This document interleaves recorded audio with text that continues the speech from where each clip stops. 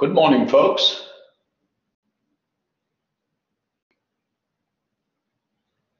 Good morning. You can all uh, see the whiteboard, I hope.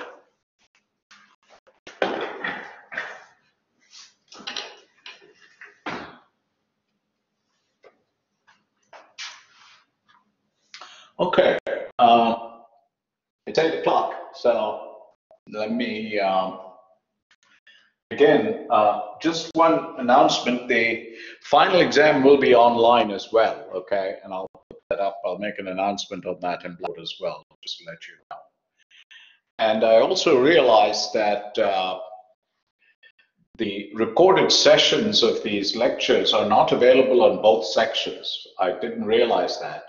So you will have to go to YouTube. I upload it on YouTube and I, you know, it took me a while to realize that that uh, since I recorded from section one, apparently section two, when you go to recordings, you don't see it. At least that's what I'm told. Uh, I don't know, vice versa. Okay, so I'll make sure that you put it on YouTube so that you have access to it as well. Okay.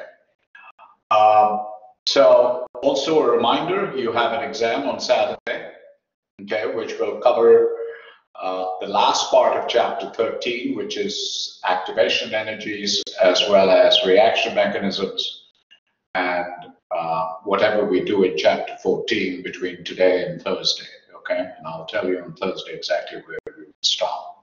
I would like to finish chapter 14 by next Tuesday so that we can go on to 15 and 16 acids and bases and so forth. Okay, so just be aware of that. Okay.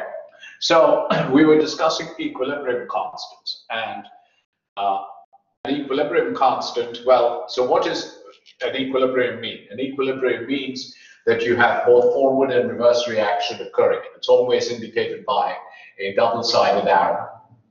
So let's say in this particular case, we're looking at this reaction, CO plus 2H2 gives you CO, gives you CH3OH, right?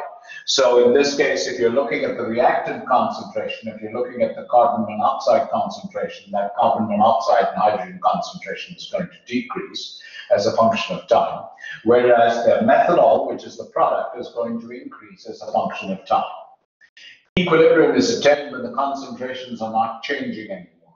That's the equilibrium part. So this region right here, where the concentrations do not change, is what is reflective of the equilibrium.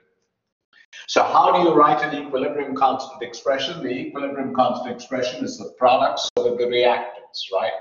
But the products got to uh, the the the, uh, the uh, way you write the concentrations depends on what the stoichiometric coefficient is.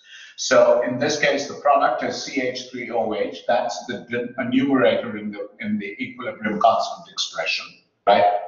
The denominator is the reactants. The reactants in this case is CO? Right, and H2. But H2 in this case is a stoichiometric coefficient of 2, so this would be squared, okay? This would be squared. So the equilibrium constant expression for any reaction, so if I have 2A plus 3B equals 2C, right? The equilibrium constant expression is going to be the products. So the concentration of C, since the stoichiometric coefficient is 2, it'll be 2 right, squared, divided by the concentration of A squared times the concentration of B cubed. And this equilibrium constant value will is a constant. That's what it means, okay? It's a constant. So it doesn't matter what your concentrations, how you reach that equilibrium. It doesn't matter what you begin with in terms of concentrations. It, what matters is the final equilibrium concentrations and where how you reach there doesn't really matter, okay? So it is the concentrations at this point in time when the system has attained equilibrium, when the reaction has attained equilibrium. That is what you're interested in. So in this case, what you're asked to do, this is the practice exercise, for example, given to you on page 702 of your textbook, okay? Page 702 of your textbook, the practice exercise, it's asking you to calculate the equilibrium constant. And this is the important word here. It says that at equilibrium, these are the concentrations of hydrogen, CO, and CH3OH. So given those values, you want to calculate what the equilibrium constant is. The value of the equilibrium constant then is equal to, in this case, the concentration at equilibrium. Now, the implication is here that this is all calculated at equilibrium, okay? And I sometimes it's uh, you know, this is not written, okay, but that's what the implication, that's always understood, implicitly understood, that these concentrations, that when you apply it to an equilibrium constant, is at equilibrium. That is in this region of the curve, in this region of the time concentration curve, okay? So in this case, this is going to be 0.040 divided by concentration of CO, in this case is 0.025 times 0.074, okay? So you can work this out. I didn't bring my calculator with me, but uh, you can work it out and tell me what the value of the equilibrium constant is going to be. Uh, okay, now the equilibrium constant, okay, the equilibrium constant by convention does not have a unit associated with it. You might say, how is that possible? That this is molarity in the numerator, this is molarity in the denominator times molarity squared. So this should have a unit of molarity. Uh, so this is molarity divided by molarity to the power 3. And you're going to say that this should have a unit of molarity to the power minus 2. But by convention, by convention, we have, uh, the, the convention is that equilibrium constants don't have a unit associated with it, okay? Equilibrium constants don't have a unit associated with it. So, and the equilibrium constant is temperature. So we will assume that during the course of this reaction, the temperature does not change. And I think in this particular uh, in this particular problem, the equilibrium constant is 700 Kelvin. Okay, I think it's 700 Kelvin. I can't remember what the value. Is. Yes, it's at 700 Kelvin. Okay, so. And we'll worry about the dependence of equilibrium constants and temperature later on. We're not going to be at this point uh, quite concerned about it, okay? But what we're interested is in this value of the equilibrium constant, okay? So the value of the equilibrium constant, and um, you know, maybe I should have, I should have uh, um, brought my calculator here, but I forgot. So let me see if I can do this. I got 21.6. How much? I got 21.6. Okay, 21.6. Okay, let me write that out. So the value of the equilibrium constant is, uh, um, okay, the value of the equilibrium constant is 21.6. Okay. Now, you can get to 21.6 by any way. You can increase this, decrease this, you can increase this, decrease this. You can do it by any method. So how you attain that equilibrium constant is a matter of your choice of how you do it, okay? Now, what does the value of the equilibrium constant mean? The value of the equilibrium constant tells you a lot about what the type of reaction is. A value of equilibrium constant, so think about it. If the numerator is less than the denominator, okay, if the numerator is less than the denominator, that means there's less products as compared to reactants, right? So a value of equilibrium constant less than 1, okay? A value of equilibrium constant less than 1 will mean that the reaction is favored in the reverse direction, right? That is, not much products is formed. So uh, let's do some problems on this, and that way it becomes clearer to you as to what I'm talking about. So just give me a second while I find the problem, okay? Um,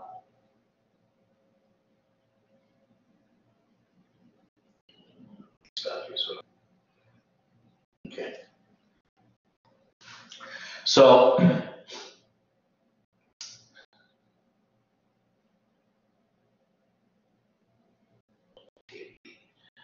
Oh, God. Okay, so here is an example. So let me erase this, okay? Here is an example of an equilibrium constant that is very, very small.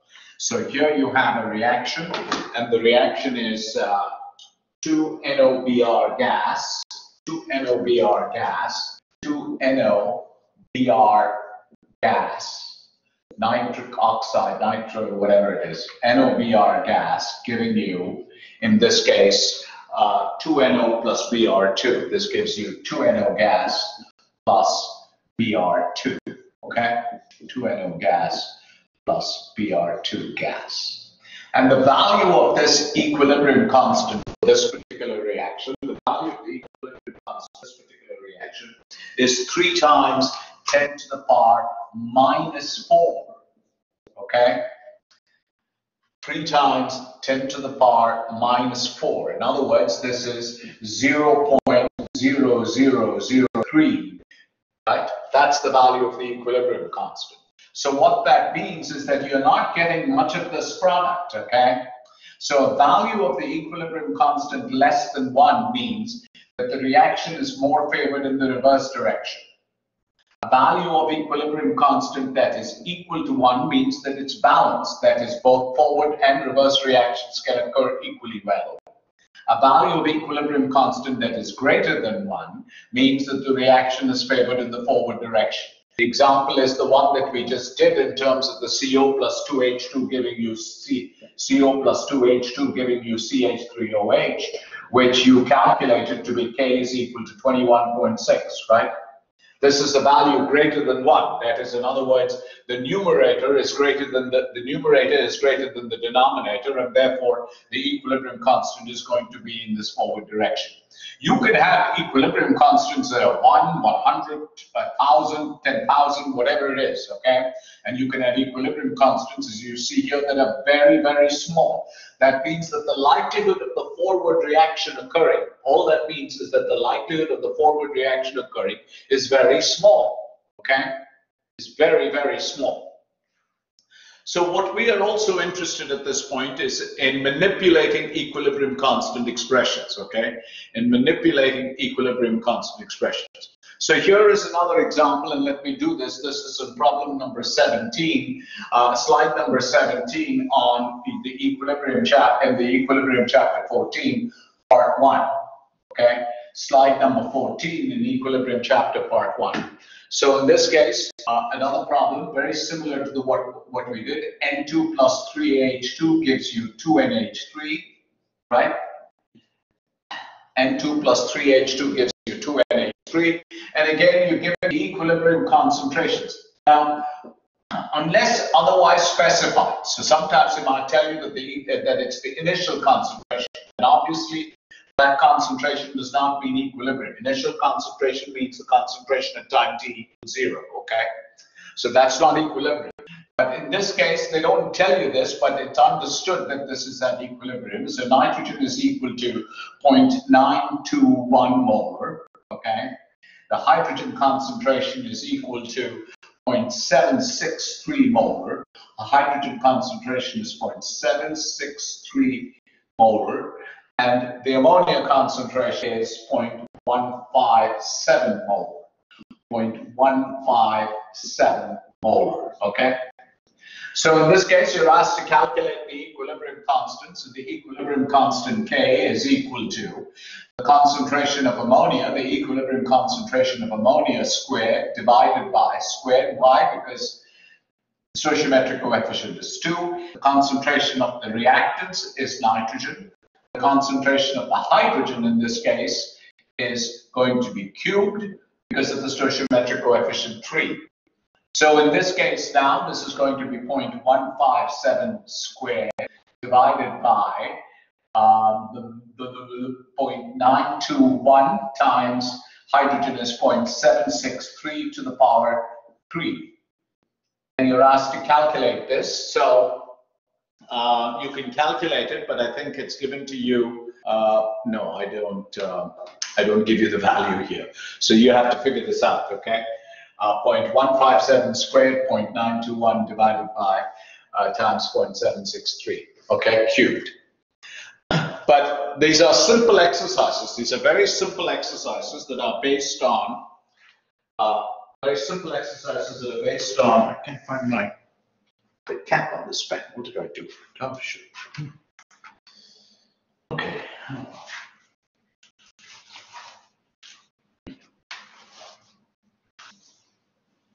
Oh, yeah, here it is. Okay. So, uh, so these are simple exercises, but the important thing is you have to realize that these are equilibrium concentrations. and you can only apply equilibrium concentrations in the equilibrium constant, okay? You can only apply equilibrium constants in the equilibrium concentration, equilibrium concentrations in the equilibrium constant, okay? Sometimes I don't know what I'm saying, okay? So, and if you go back to slide 13, if you go back to slide 13 in that part one, it tells a value, uh, the value of K gives you a lot in terms of the extent of reaction, okay? The value of K in this case, for example, and there's an example that is given to you, 2H2 plus O2, 2H2 plus O2 gives you 2H2O, right? The value of this reaction is K is equal to, the value of the equilibrium constant is 3 times 10 to the power 81, okay? 3 times 10 to the power 81 that means that the forward reaction is very, very much uh, favored, okay? Now, having said this, okay, one is not saying anything about the rate of the reaction. This means that in terms the equilibrium constant is high, but it's not telling you what the speed of the reaction is, okay? Does not tell you what the speed of the reaction is, okay? That's not the case. It only tells you that yes, the products are favored, right? Nothing else, nothing beyond that. So don't read too much into what the value of the equilibrium constant is, okay? Okay, so what I'm going to do now is start manipulating equilibrium constants, okay? We're going to start manipulating equilibrium constants. What do I mean by manipulating equilibrium constants? Suppose you have an equilibrium constant for two reactions. You can calculate the equilibrium constant of the third by just simply adding up the two reactions. That's what we're going to do. And it's a very similar application, sort of like Hess's law, okay? And so now what we're going to do is turn our attention to uh, the slides in part two, slides in part two of chapter 14. That's what we're going to do. So the slides in part two, chapter 14, okay? Uh, so let me actually uh, step back a little, okay? So if I go and, and talk about gases, I, I realize that that's the first thing on this part too that I need to cover. Okay? So what about what happens in the case of gases? So, so far what we've done is we've calculated constants using molarities, okay? Using molarities. So we've calculated Kc. This is an equilibrium constant calculated in terms of concentrations and hence the subscript C, okay? So this is an equilibrium constant that is measured, that is determined, that uh, uses concentrations, okay, uses concentrations. And in this case, the concentration is always molarity, okay? You're using molarity concentrations to calculate the equilibrium constants. But having said that, what's important is this. Having said that, what's important is this, is that the, uh, the uh, equilibrium constant now in a gas reaction. So for example, in a reaction that involves a gas, and an example of this would be, there are lots of examples of reactions in the gas phase. Reactions in the gas phase, for example, would be, let's say I take an example like this, 4NH3, uh, which is your slide number three on that, 4NH3 gas plus 7O2 gas gives you um, 4NO2 gas, 4NO2 gas plus uh, 6H2O gas. So in this case, all the products and reactants are in the gas phase, okay? So instead of using concentration units, maybe, maybe it's better to use units that are related to the pressure of the gas. It makes life much easier, okay? concentrations, it's, it's not difficult to calculate concentrations of a gas uh, in a particular reaction, but it's easier to monitor the pressure of the reactants and then see what the, uh, to monitor the pressure of the gases and then be able to use the equilibrium constant in that expression. So let me write down a generic example of this. So a generic example is you have A gas plus 2B gas. Well, let me take a simpler example. The simpler example would be N2 plus 3H2, and, and I need to write down the, the phase of the material. This is nitrogen gas plus three hydrogen gas gives you moles of hydrogen, gives you two moles of ammonia, gives you two moles of ammonia gas. Okay? So what I want to do is to be able to write down the equilibrium constant. But the equilibrium constant expression that I want to write down must be an expression that is in terms of the pressure of the gases. So what we do is we use partial pressures. We use partial pressures. I don't know if you remember this, but you probably saw partial pressures in Chem 1100, okay? So in this case, what we refer to is, so here is your container, okay? Here is your container. And in this container, you have nitrogen and hydrogen and ammonia, right? And you're carrying out this reaction. So the partial pressure of the nitrogen, the partial pressure of the nitrogen, so in this case, the partial pressure of the nitrogen, and you can use any unit of pressure that you wish. You can use the unit of pressure in atmospheres, you can use a unit of pressure in millimeters of mercury, you can use a unit of pressure in terms of uh, uh, preferably atmospheres, and we'll show you why you want to use atmospheres, but it's preferred to use the partial pressures to, to use pressure units of atmospheres when you're calculating equilibrium constants in terms of pressure, okay? So what this means is, let's say I have three different, so in this case I have nitrogen, hydrogen, and ammonia, right? So let's say that the nitrogen is, is these black circles, okay, with the, uh, the black hollow circles, okay? The hydrogen in this case is, the hydrogen in this case is um, yellow, I mean the blue circles, okay, the blue yellow, uh, the blue hollow circles, okay, and we can have ammonia as well. We can have ammonia as well, and the ammonia is going to be in this case. Let me uh, use the ammonia. The ammonia is going to be uh, these, okay, orange ones. I hope you can see, okay. So all of them is in this. So how would you calculate the partial pressure of the uh, of the nitrogen? The partial pressure of the nitrogen is the only thing that you want to involve is this, okay? So in this case, when you remove all of the others and in that same volume, you only have the nitrogen, that's the partial pressure of the nitrogen. You can do the same thing for the partial pressure of the hydrogen. You can do the same thing for the partial pressure of ammonia. In other words, it's, it's the pressure exerted by that component alone in that particular, in that same volume. So if I do that, then the Kp, the partial, the, the equilibrium constant expression in terms of pressures is going to be equal to the same exact idea as in concentrations, okay? Except that now instead of concentrations, what we're going to do is talk about the partial pressure. So this is the partial pressure of ammonia squared right, in the, in the numerator. In the denominator, what do you have? The reactant. So this is the partial pressure of nitrogen, right? This is the partial pressure of nitrogen, and this is the partial pressure of hydrogen. Again, the stoichiometric coefficient is 3, so this is partial pressure of hydrogen raised to the power 3. So in terms of concentrations, this is exactly the same uh, approach. In terms of concentrations, I would have this as Kc is equal to the concentration of ammonia squared divided by the concentration of nitrogen times the concentration of hydrogen to the power 3. So notice the similarity between the two. The only difference is that you are, well, the big difference is that you're using concentration here, and here you're using partial pressure. And we also, I mean, we distinguish it by saying that this is an equilibrium constant calculated uh, as a function of concentrations, and this is Kc. This is an equilibrium constant that is determined as a function of pressure, so that's called Kp. Now, how are Kc and Kp related? Kc is not equal to Kp, okay? You have to determine the relationship between Kc and Kp.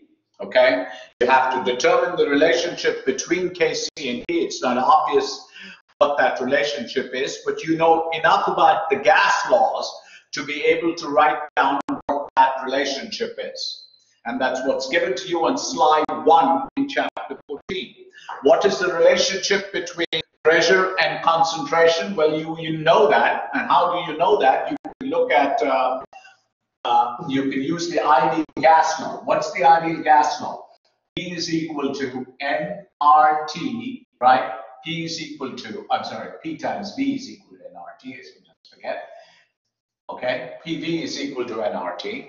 So in this case now, what I can do is I can simply rearrange this equation to give me the pressure is equal to N divided by V. Now let's count and let's make sure that we know everything of what this means. N is the number of moles of the gas. R is the gas constant. T is the temperature in Kelvin. V is the volume, usually in liters. And P is the pressure, usually in atmospheres. Why do we use liter? Why do we use this in atmospheres and V in liters? Why? Because R that we typically use the value of R is 0.082 liter atmospheres per mole per degree Kelvin. So given the fact that R is in liter atmospheres units, it's always advisable to use pressure in atmospheres and the volume in liters. So now when I look at this equation, right, now when I look at this equation, I can rearrange that equation to give me, I can rearrange that equation to give me P is equal to, I bring the volume over to the denominator on this side, N over V times RT, right? What is N over V? The number of moles divided by the volume in liters, right? N over V divided by the volume in liters. So moles divided by the volume in liters. Well, what is that? The volume in liters is, and the moles divided by the volume in liters is simply molarity, right? So the pressure is equal to the concentration times RT, whatever the concentration is of that component times RT. So you can easily go back and forth between partial pressures and react uh, partial pressures and concentrations. And if you want to do that, there's a very simple relationship between them. The relationship between Kp and Kc the relationship between Kp and Kc is equal to Kp is equal to Kc times RT. Where R is equal to 0.082 liter atmospheres per mole per degree Kelvin. T is the temperature in Kelvin. RT to the power delta N. The only thing that I need to tell you is what is delta N. What is delta N? Delta N is the difference between the number of product moles, the number of mole, uh, the number of gas moles of product, number of gas moles of product, whatever the product is, minus the number of gas moles of reactant. And when you erase this down, minus the number of gas moles of reactant, number of gas moles of product, minus the number of gas moles of reactant. And I will do an example of this to tell you what that value is, okay? I'll do an example. So, let's take this example. N2 plus 3H2 gives you 2NH3. What is the value of delta N in this case? What is the value of delta N in this case? The value of delta N in this case is the product gas moles. What are the product moles and gases? There's two moles of ammonia, right? So this is going to be 2 minus, right? The number of reactant gas moles. The number of reactant gas moles is 1 mole of nitrogen and 3 moles of hydrogen, right? So that's 4. So 2 minus 4, so delta N is equal to minus 2. Delta N is equal to minus 2. So for this particular reaction, Kp is equal to Kc times RT to the power minus 2. Okay? Kp is equal to Kc times RT to the power minus 2. Let's do another example. Let's do this one right here. Okay? Let's do this one right here. So here in this case, the calculation is going to be very simple. I want to calculate the relationship between Kp and Kc right? Using this equation, Kp is equal to Kc times RT to the power delta n. So what is delta n in this case? Delta n in this case is equal to the number of product moles. The product, and you only count gas moles. You don't count anything else. So these designations mean a lot. Okay, these designations are very, very important in understanding what's going on. So, um, so in this case, this is six moles of H2O gas, not H2O liquid, H2O gas. Four moles of NO2 gas. So total number of moles on side is 10, right? The total number of moles on the reactant side, there are seven moles of oxygen and four moles of ammonia. So in this case, it's 10 minus 11. So this gives me minus 1. So the relationship in this case, Kp is equal to Kc times RT to the power minus 1. So it very much, the, the exact nature of the relationship depends on what the number of gas moles are on the product and the reactant side, okay? The general equation is Kp is equal to Kc times RT to the power of delta N. Delta N, as I said, is the number of product gas moles minus the number of reactant gas moles, okay? So let's do a few more problems in this case, okay? Let's do a few more problems and um, let's see. Okay. So let's do uh, problem number six. Problem number six. I'm sorry, no, slide number six in, in that part two, not problem six. Slide number six uh, in uh, in uh,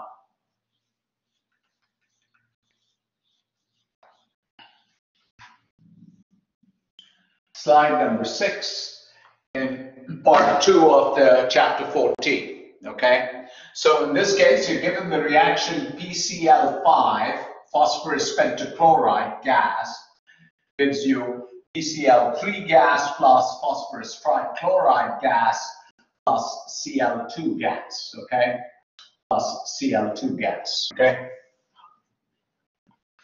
So in this case, you are given the value of Kc. You're given the value of Kc, which is equal to 4.00 at 25 degrees Celsius.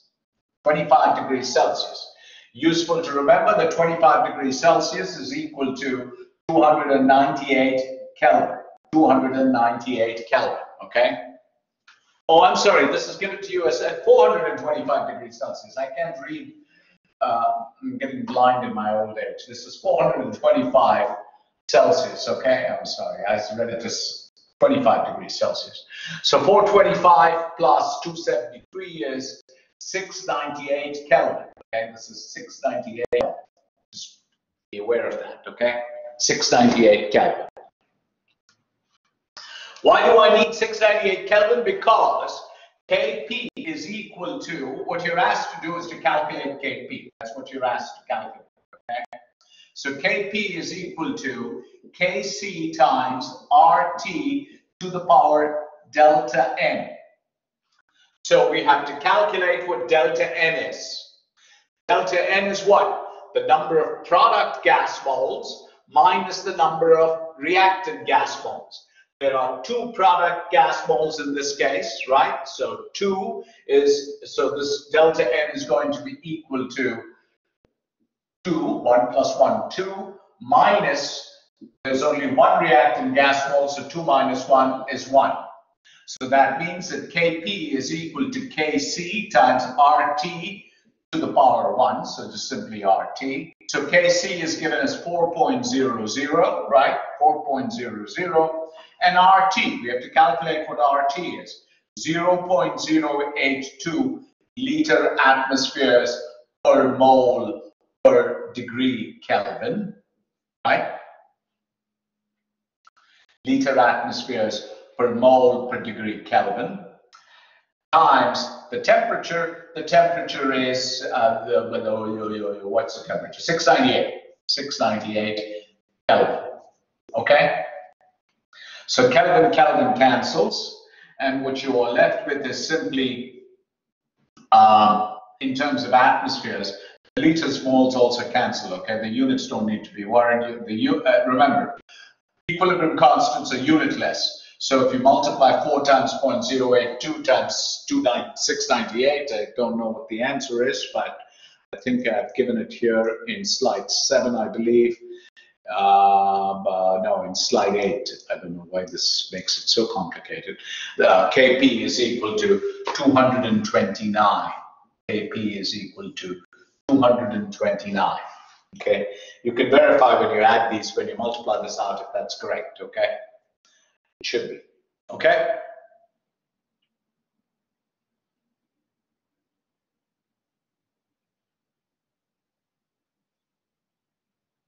I think so. Okay.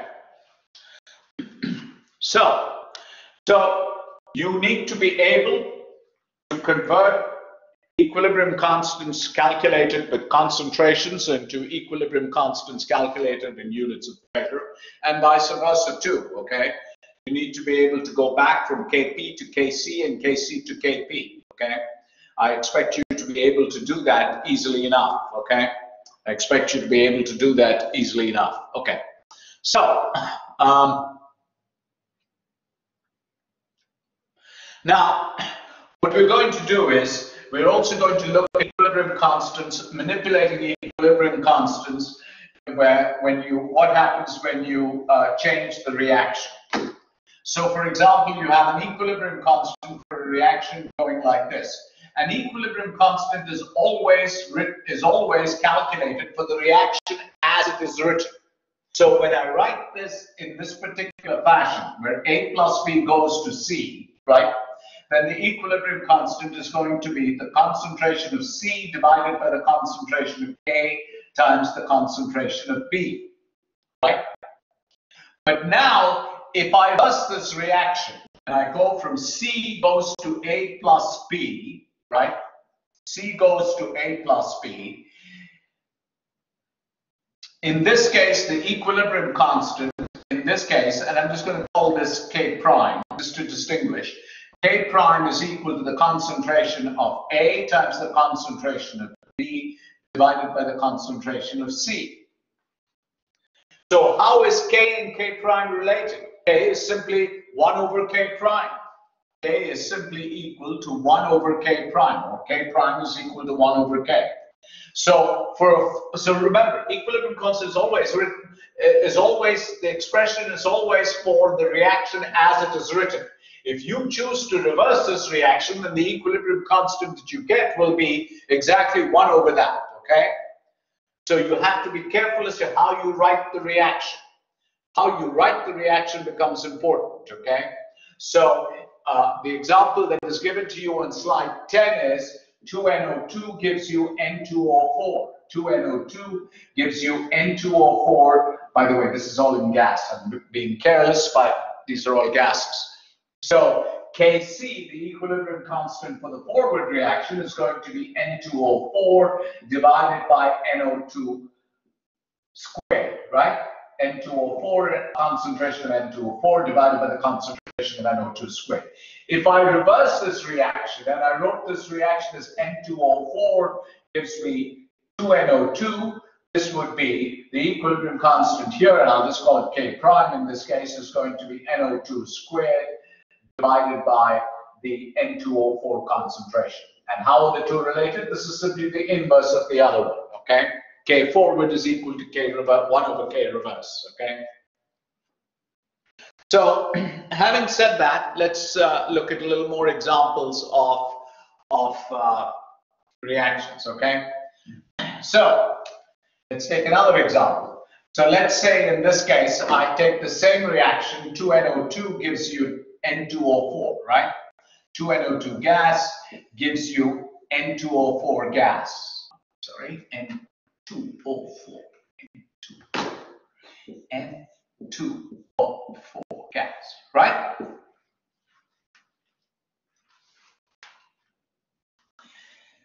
I'm just going to multiply this reaction by 2. I'm going to multiply this reaction by 2. If I multiply this reaction by 2, what do I get? I get 4NO2, right? 4NO2 gas. So this is multiplied by 2.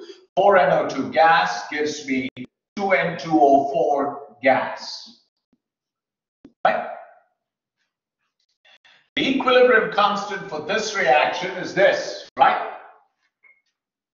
The equilibrium constant for this reaction is what? And I'll call it again K prime is equal to N2O4, the concentration of the products, but in this case, since the stoichiometric coefficient is 2, it's squared, divided by the concentration of NO2 raised to the power 4, right? So how are the two related? Well, you multiplied it by 2. So K prime, this new equilibrium constant, is equal to the old equilibrium constant K squared. All you did was square this, and what you get is you square this, you square this, this is what you get, right? So if you multiply the co coefficient, whatever the coefficient, you multiply the coefficients by whatever number you wish. If you multiply it by 2, this would be squared. If instead of 2, I multiply this by, I multiply this by 1 half, right? If I multiply this by 1 half, this becomes NO2, and this becomes N, um, um, 1 half N2O4, right? So now the equilibrium constant expression is going to be, the equilibrium constant expression is going to be N2O4 to the power half, right? Divided by the NO2 concentration. So how are the two related? This is exactly equal to the square root of this. So K prime is equal to Kc, the original equilibrium constant, that one, times taken to the power half, the square root of it. Okay? So manipulation by a number, if you manipulate it by a number, it doesn't change anything. All you changes it, but it's just simply whatever the number is that you multiplied it, it's just going to be, uh, you take the uh, appropriate exponent. If you multiply it by 2, this would be squared. If you multiply it by 1 half, it would be to the power 1 half. Okay? So it's as simple as that.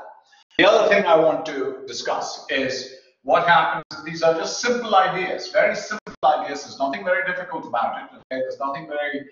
Uh, uh, all you have to do is be very systematic in terms of approaching it. So let's say I have A plus B going to C, and I have an equilibrium constant, whatever the value is, K is equal to something, okay? Now I take this compound C and I react it with D to give me a product P. And the equilibrium constant for this reaction is equal to something, right? Now, if I add these two reactions up, if I add, so I'll call this one reaction one, and this is reaction two. I'll call this K1, and this I'll call K2. Okay? So if I add the two reactions up, algebraically add the two reactions up, what am I going to get? C and C is going to cancel. One is on the product, one is on the reactant side. And what I get in this case is A plus B plus D goes to P, right? What's the value of the new equilibrium constant? The value of the new equilibrium constant is simply equal to K1 times K2. So if you add two reactions together, then you multiply the equilibrium constants. If you add two reactions together, you just simply multiply the equilibrium constants and you can verify this, okay? You can verify this very easily that that's the case, okay? How would you verify it? K1 in this case is equal to the concentration of C divided by the concentration of A times the concentration of B, right? In this case, K2 is equal to the concentration of E divided by the concentration of C times the concentration of D, right? If I multiply the two together, K1 times K2 is equal to C divided by A,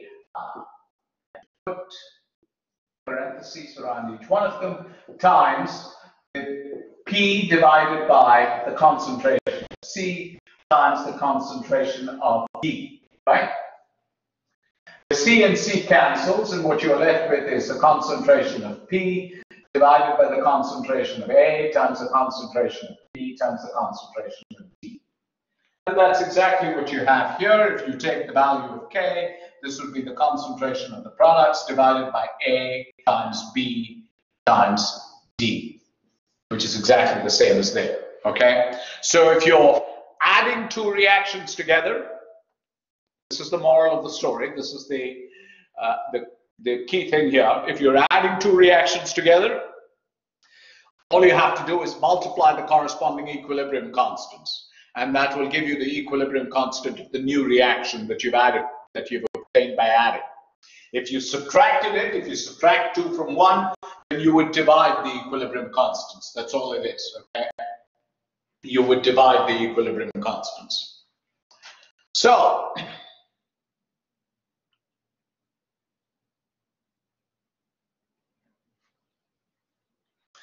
Uh, there are a few exercises that I just want to go over here, and that's in chapter, I mean, uh, slide 13 of, of your part two slides, okay? Slide 13 of your part two slides.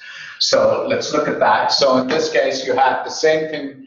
You have N2O4 gas, N2O4 gas, giving you 2NO2 gas, giving you 2NO2 gas, okay?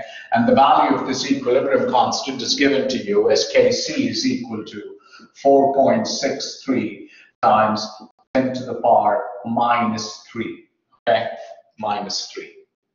What you're asked to do is, now, two things you're asked to determine. You're asked to determine the equilibrium constant for the following reaction, 2NO2 gas going to N2O4 gas. Oh, N2O4 gas. And the second one is NO gas B. The second one you're asked to determine is for NO2 gas going to one half N2O4.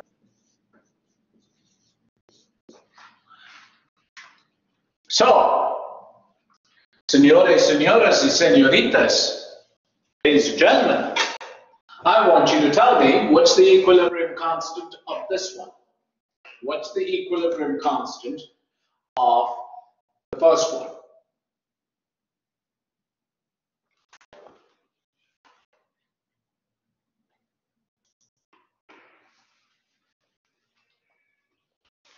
The only difference between this is, I've multiplied this by 2, right?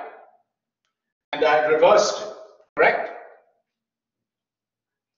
I multiplied this by 2 and I've reversed it, right?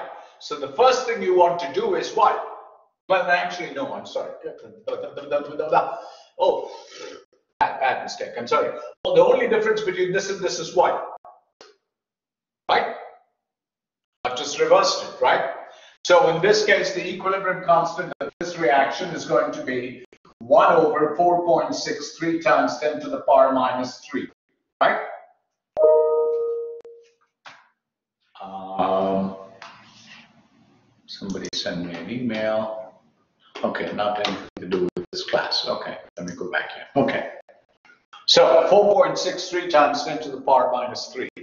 So the equilibrium constant of this one is the is just because this is just the reverse reaction, right? So tell me what the value of this is, 1.63 times 10 to the power minus 3. It will be about uh, 2 times 10 to the power minus 2 or so, right? No, something like that. I don't know. 2.2.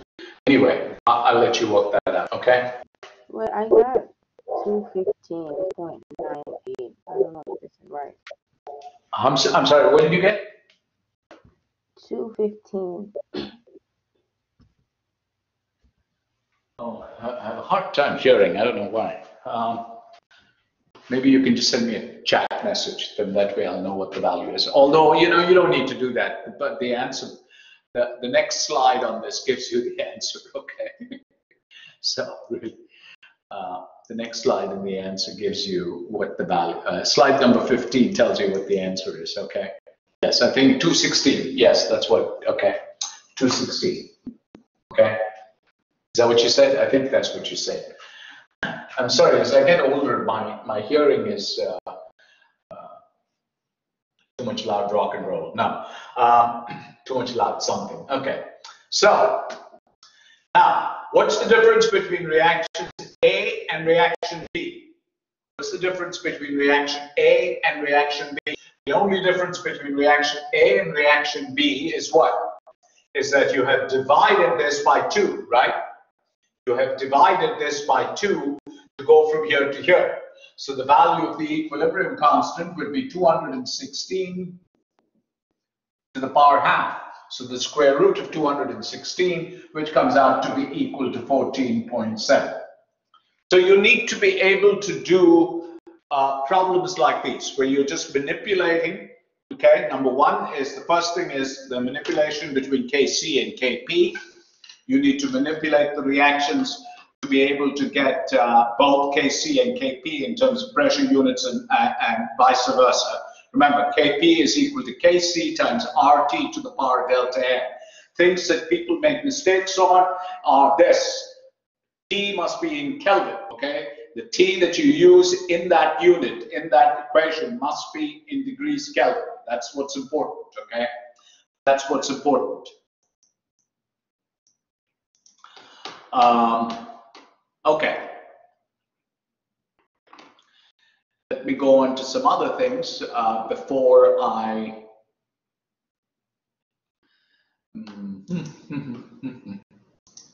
okay. So all the while here, what have we talked about? We've talked about equilibrium constants. So the understanding is very simple. The understanding is that we are at equilibrium, right? The understanding is, implicit understanding is that when you calculate an equilibrium constant and you write down the expression for the equilibrium constants, these are all at concentrations that are calculated at equilibrium. What does that mean? That means that if you are looking at this reaction, right? If you are looking at this reaction, okay? If you are looking at this reaction, you are looking at the reaction and you're saying that this is the equilibrium condition when the concentrations of them do not change as a function of time, right? That's the implicit assumption. Now, let's say we make things a little more interesting, okay? Let's say that we make things a little more interesting. So, I'm, well, let me leave this here. Let me leave this here for the moment, okay? But sometimes you might not be at equilibrium. Sometimes you might not be at equilibrium. What that means is, so let's say that in this case, I start. This is what I do. I have a reaction vessel, okay? So this is my reaction vessel in which I have the concentrations of N2O4 and NO2, right?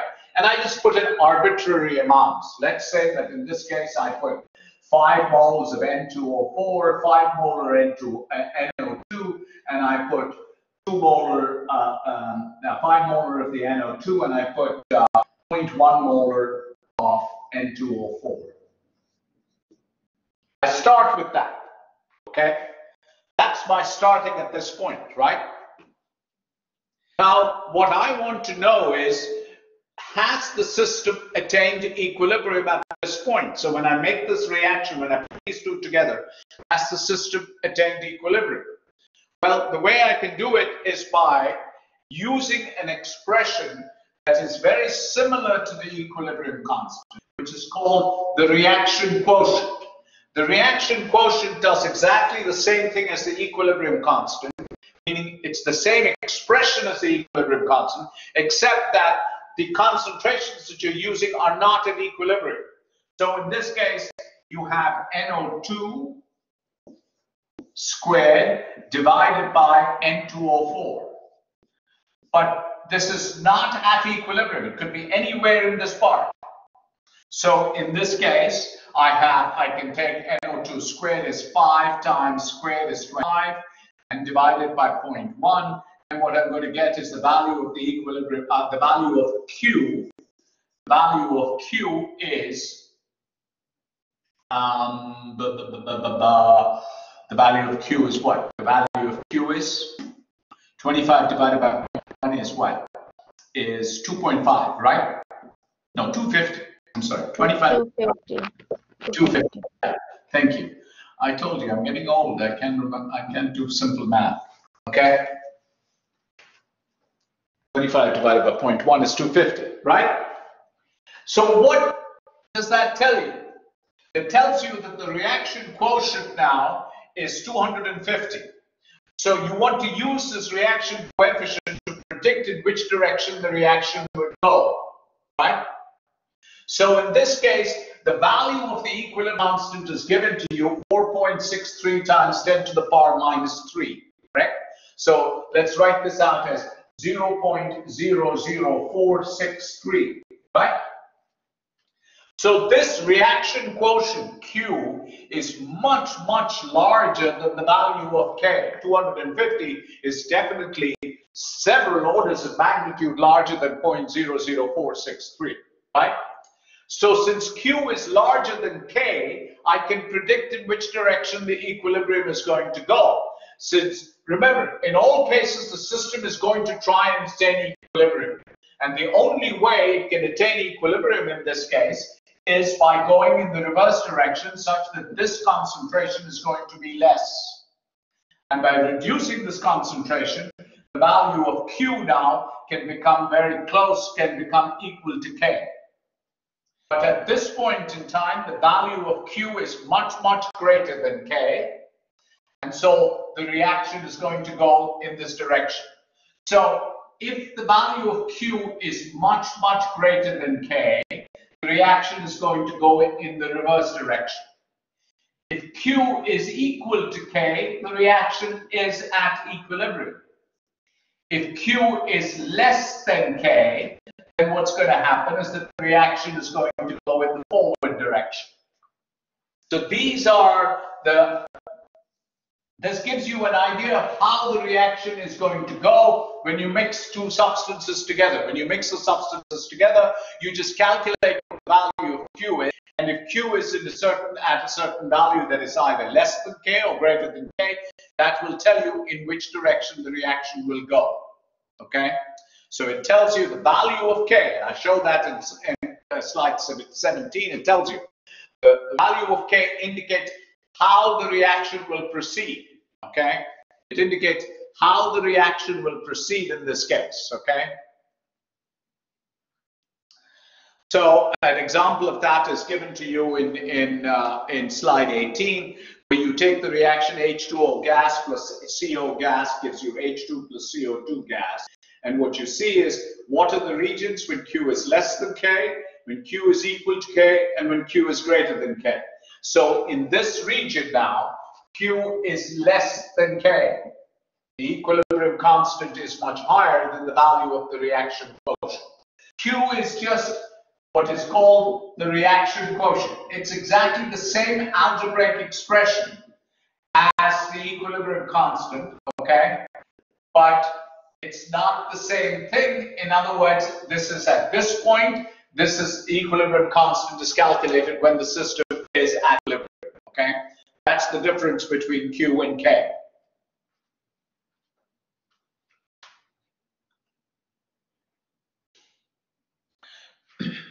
So let's look at problem number, uh, slide number 19. Slide number 19 is an actual problem. In slide number 19, what you want to do is, so let me erase this, okay? In slide number 19, what you have is an actual problem. And that problem in this case is you have CH4 plus H2O gives you CO plus 3H2, CO plus 3H2, okay? CO plus 3H2. So in this case now, in this case,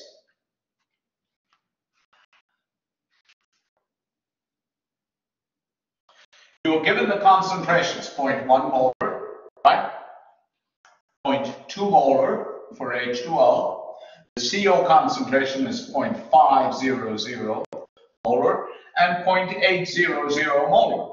So remember in this case, you're mixing all of these concentrations together, right? You don't know in which direction the reaction is going to go. What you have to do is calculate Q. By the way, you're given the value of K in this case. The value of Kc is equal to 5.6. What you will have to do is you're asked to determine in which direction the reaction will proceed. So what you have to do is using these concentrations, calculate what the value of the reaction quotient is going to be. So the expression for the reaction quotient is exactly the same as Kc, as how you would do it for Kc. So it's going to be the concentration of CO, which is 0.5, right? The concentration of H2 is 3 moles of H2, so this would be 0.8 times to the power 3, right? Divided by the concentration of CH4, which is 0.1, times the concentration of H2O, which is 0.2. So you have to calculate what the value of Q is going to be. You have to calculate what the value of Q is going to be. And when you calculate the value of Q, what you will see is that the value of Q is going to be equal to 12.8. Right? Value of Q, you can verify this when you uh, multiply it all together and divide it by uh, 0.02, which you will get is 12.8. And in this case, Q now is much larger than K. Q is much larger than K, correct? Q is 12.8, the value of K is 5.6. So how is the system going to attain equilibrium? It's going to go in the reverse direction. That is, it has to reduce the number of products, reduce the amount of the products, and increase the amount of the reactant such that this value of 12.8 will go down to 5.6. So the reaction will attain equilibrium by adjusting it such that it goes to the left, by adjusting it such that it goes to the left, okay?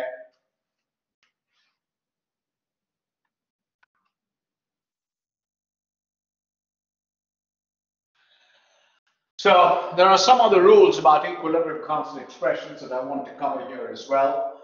Uh, and that has to do with the state of matter. That has to do with the state of matter.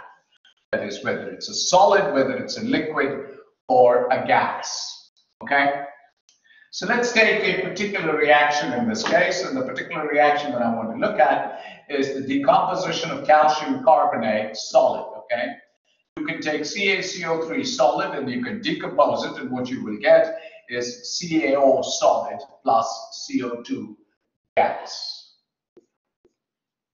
By convention, I mean, if you were writing this down, if you were writing this down, the equilibrium constant expression would be CaO concentration times the concentration of CO2 gas divided by the concentration of CaCO3.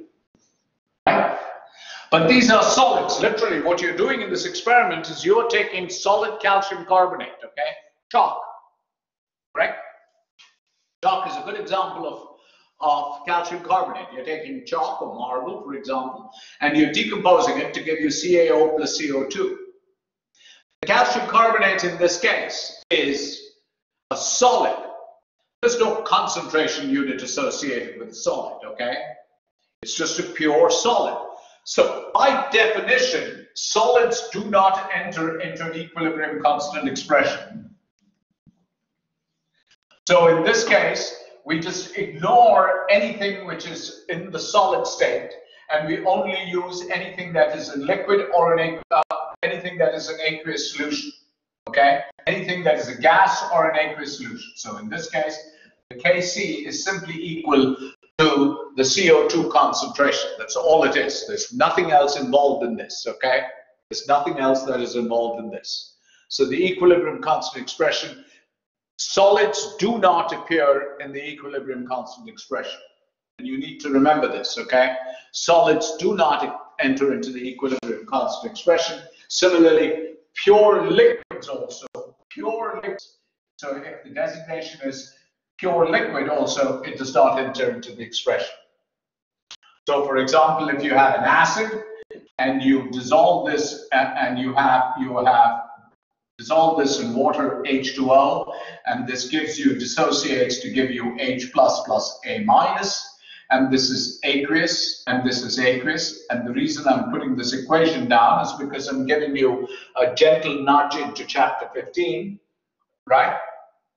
So in this case, if I wanted to write down the equilibrium constant expression, this is H plus concentration times the concentration of the A minus divided by the concentration of the HA. Okay, this is also aqueous, I'm sorry. Okay, and the H2O liquid does not enter into the expression. So pure solids and pure liquids do not enter into an equilibrium constant expression. Okay? And it's important to remember that. It's important to remember to, uh, it makes your life much easier, okay? It makes your life much, much easier in terms of being able to calculate what goes on, in terms of being able to determine what goes on. So with that, I'm done with slide with part two. And what I want to do is begin part three so that um, part three is the toughest part, okay? Part three is the toughest part of this uh, of this uh, chapter, okay? Uh, and let me get there for a second. I forgot. Yes, chapter 14, part three. I didn't open it, so okay.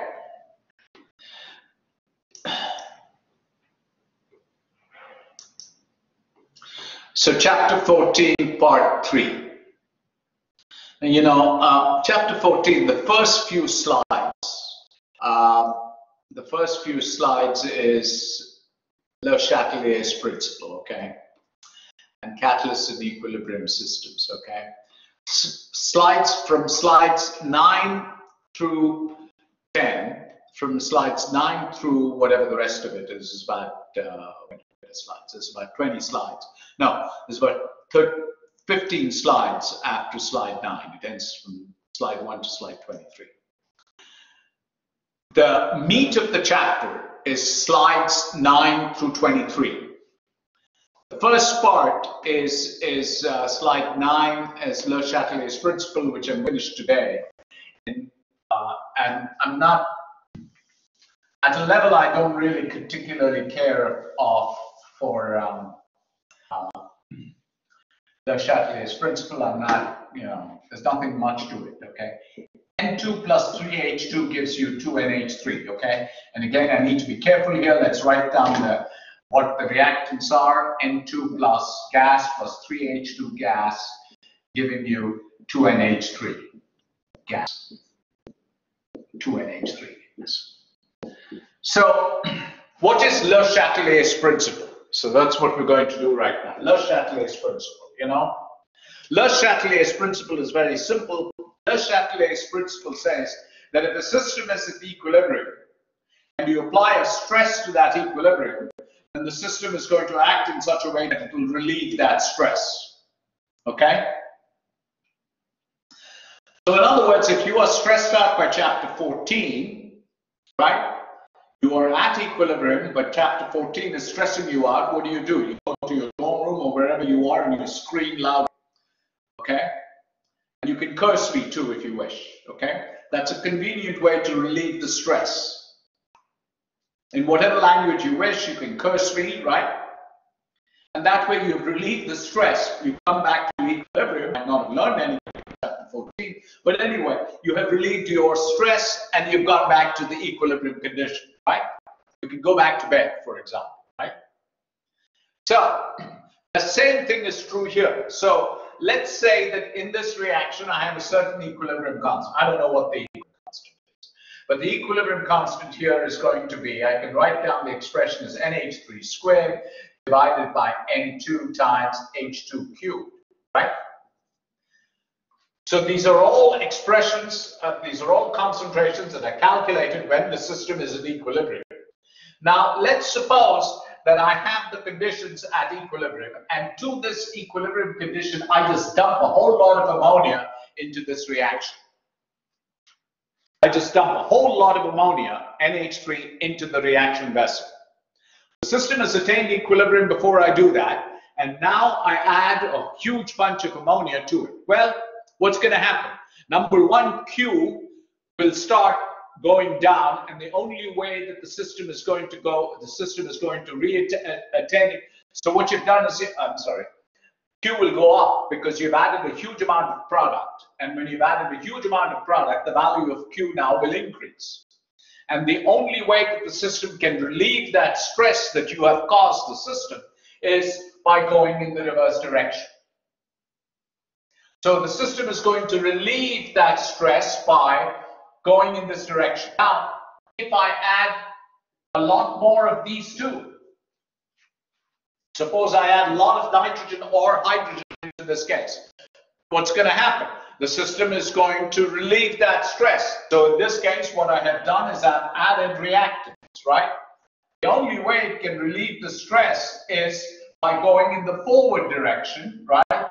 To be able to reduce the stress in this case. To be able to reduce the stress and be able to reattain equilibrium because Q now is going to be much, much less than K. And so the same ideas that we use when we're calculating Q. Q now, if you increase these two quantities, Q is going to be much, much less than K. And to get back to K, how can it do? It has to reduce, it has to uh, reduce this amount and increase the amount of ammonia. Okay? So it's just what, what I call intuitive. That is, when you stress the system, there's only one way for the system to relieve the stress, and that one way for the system is what you want to look at. Now, there are some other reactions that I want you to look at. So, uh, blah, blah, blah, one second, one second, one second. Let me, let me, let me. Yeah.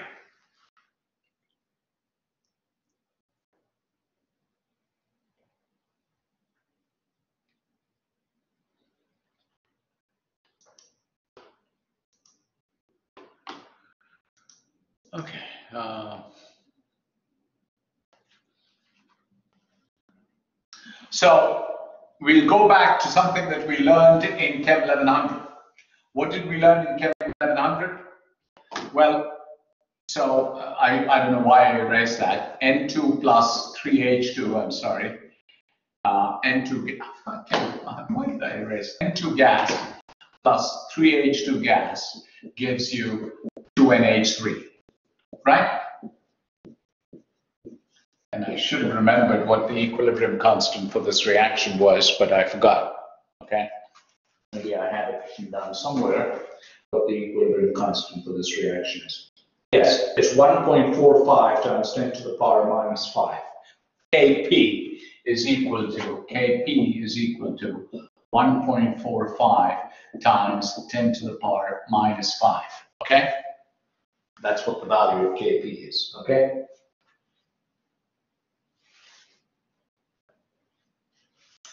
Okay, gentlemen, ladies. So what happens now? A very simple question. What happens if I increase, if I decrease the volume in which I carry out this reaction? So here I have all the reactants in this vessel, right? The volume of this vessel is fixed, uh, the volume of the vessel, whatever it may be. I have the nitrogen, the hydrogen, and the ammonia. And now what I'm going to do is compress this reaction vessel, okay? So now I'm going to go to a reaction vessel that is much smaller, say about one-tenth the value of that. One-tenth the value of that initial volume. What is the effect going to be? Think about it. I just want you to think about what's going to happen. So, when you reduce the volume, what is the consequence of reducing the volume? Go back to your gas laws. What happens when you reduce the volume? What happens when you reduce the volume? The pressure goes up. The pressure goes up. That's right. The pressure goes up, right? So think about this. In this reaction, you have four moles of gas on the left producing two moles of gas on the right, right? So, in this reaction, as a normal sequence of events, is that the pressure is going to decrease. Why? Because the number of gas moles are decreasing from 4 to 2. So as a consequence of this, the pressure is also going to go down. Now, by changing the volume, by reducing the volume by one-tenth, right? what are you doing? You're increasing the pressure, right? So when you increase the pressure in this fashion, the system wants to reattain equilibrium. What is the easiest way for it to attain equilibrium? Is to go in the forward direction. Because if it goes in the forward direction, the number of gas moles becomes less, and therefore the pressure is also going to become less. So it's a convenient way then for it to, not a convenient way, It's, an, it's the only way for it to relieve the stress that you have caused on the system when you have increased the pressure on the system. When you've increased the pressure on the system, what it's going to do is go in the forward direction and thereby reduce the number of gas moles that you have. That's what is going to happen. Okay? So with that, I'm going to stop and then I'll come back to this on Thursday and uh, and we'll talk about uh, we'll talk about this and I'll begin that last part of chapter uh, chapter 14, which is everything that you will need for the rest of this course. Everything that you need for the rest of this course will be what we begin on on uh, Thursday. Okay. So, any questions? So remember what I said? I said at the start that the final exam will be online. Okay? So for those of you, I think there was somebody who will send me an email. I will put an announcement on that on whiteboard on the, I'm sorry, on blackboard as well. Okay? So. Okay, senores, senores, I shall see you for recitation today at uh, in the afternoon at one o'clock. Okay.